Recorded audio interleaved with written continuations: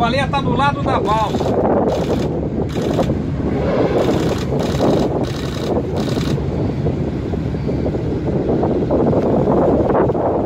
A baleia atrás da balsa é impressionante. Puta foto.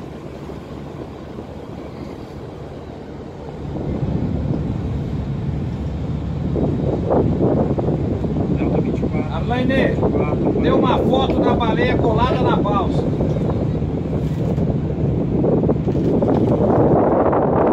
Valerina 24, canal 69.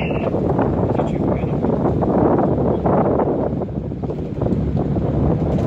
Valerina Delta 24, bom dia. Bom dia, Delta 24. Só para avisar que a baleia está. Duas, duas duas baleias. baleias estão exatamente na travessia da balsa, bem no meio.